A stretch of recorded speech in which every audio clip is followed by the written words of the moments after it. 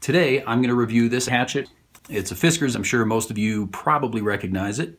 Uh, you've seen them all over the place. You've seen them in Walmart. You've you maybe have one or two of your own. They have axes. They have splitting mauls. They have little you know little uh, camp hatchets that are smaller. This is an older one. I think I bought this about 10 years ago, and I have put it through. I want to say I put it through every kind of abuse you can put an axe or a hatchet through.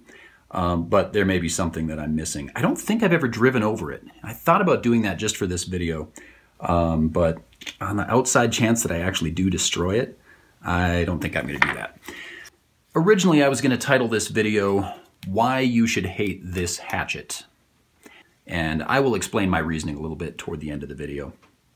But first, I'm going to do my best to give this thing an unbiased and honest review. One minor qualification here at the beginning.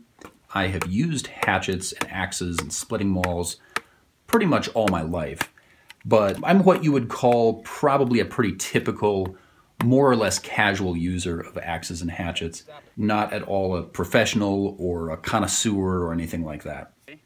But with that out of the way, I have uh, subjected a few hatchets to some pretty serious abuse in my life. Uh, one of my favorite things to do is to use the non-striking surface to pound nails. The first thing I want to address is the durability. Uh, when I first saw this, and again, this is probably 10 years ago, I, I have to admit that I was a little bit skeptical. Uh, I wasn't sure about this, whatever material this is, plastic, composite material. I wasn't sure how the head of the hatchet was connected internally. I felt like, well, maybe this thing cracks and breaks. What if the head flies off? Uh, obviously, you can see that hasn't been a problem. But some of the things that I've used this for over the years, uh, I have uh, I've absolutely batoned this. In fact, I've probably uh, got it stuck in wood and hit it with a with a hammer or a maul or something to to drive it through wood before, uh, which I by the way do not recommend. I've used it as a hammer, which probably also voids the warranty. I don't know exactly what Fiskars says about this particular model of hatchet, but it is not intended as a hammer. But as you can see, it has seen a lot of abuse. I have thrown this hatchet. Um, I am not a, an expert at throwing pretty much anything, but I have practiced a lot throwing this hatchet and sticking it into things, sticking it into trees or stumps or whatever. And uh, probably like most people, uh, most of the time I do that, I miss.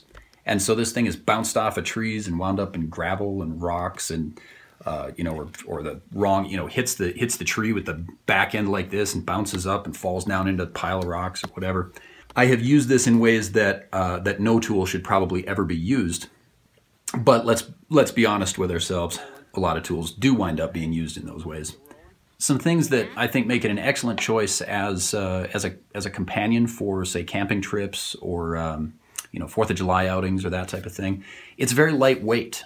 It's at least as light as any of the hatchets I've seen that have a more a traditional construction, and probably lighter than most. So the hatchet clips nicely into there, and that's actually fairly secure. You can you can shake it pretty good and bang it into stuff, and it doesn't come off of there. Um, but it's also real easy to get it out. You just kind of put your thumb there and pop that off of there. You know, and I kind of expected that I would lose this after a few months or a few years of use, but it's just so convenient to snap it in there. And it protects the blade, but it's real easy to pop it off, and there you have it. There's no snaps to mess around with or anything. Uh, real easy to throw this in a backpack. Once you have it clipped in, it's extremely unlikely to come out of here on its own, and that blade isn't likely to catch on something, do any damage inside of a pack. Also, this is real convenient for carrying it. Sometimes I'll set off on a hike and I'll just carry this with me like this. You know, a bottle of water and my Fiskars camp axe. Which brings me to another point that I'll make real quickly here, because I don't think it's a primary purpose or primary use of this, but it is so lightweight, and yet it can still be used defensively if need be. You know, if you're out on a trail and uh, maybe a stray dog comes up to you. I'm not saying that you just need to go and hack away at it with this thing, but even leaving the hatchet clipped in to the guard, uh, you can still use that pretty effectively as a deterrent against even, you know, really a pretty big dog.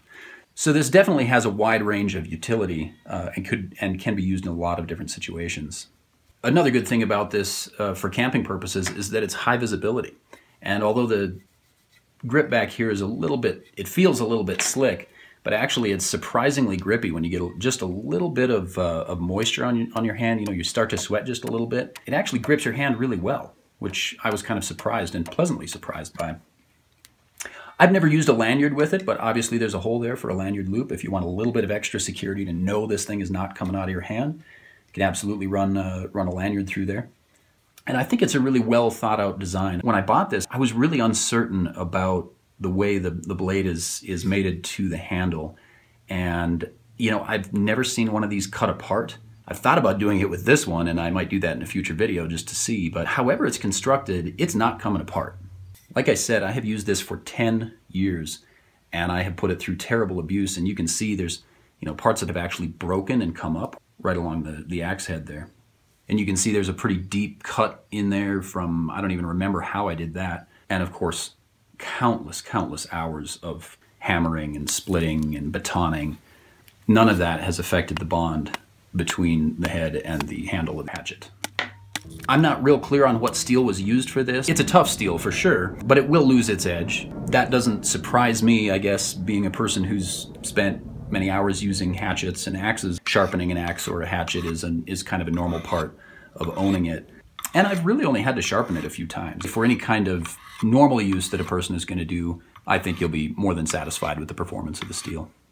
And finally, um, I'll say the price on this isn't absolutely fantastic. There are camp axes and hatchets that you can buy for maybe $7 or $10 if you want to shop around a little bit. Uh, this is about a 20 to 25 typically. And there are some newer models out that are priced very similarly. So while it's not the cheapest axe or hatchet on the market, for the quality you're getting, I think this is still an excellent choice. This is a very lightweight, functional, durable hatchet that's going to last for years and years of any kind of normal use. And based on my experience, would probably stand up to years of hard use so after spending the last five or 10 minutes praising the virtues of this hatchet, why would I ever say that you should hate it? Well, if you like forging, blacksmithing, bladesmithing, woodwork, this hatchet pretty much represents the opposite of all of those things. There's nothing traditional about it. These are obviously mass produced. And as near as I can tell, every single one comes off an assembly line someplace and it looks exactly like the one that went off before it and the one that's coming off the assembly line after. With that said, is it functional? Absolutely. Is it high quality, well made, well designed, capable in the field? Absolutely. Will you be disappointed or poorly served if you buy one of the Fiskars hatchets or axes? Absolutely not, at least not from my experience. So thanks for watching the show. If you found this valuable, give me a like, subscribe to the channel, and if you have anything you want to say about this hatchet, maybe you have a different experience than the one I've had, by all means leave it in the comments below, and we will see you in the next video.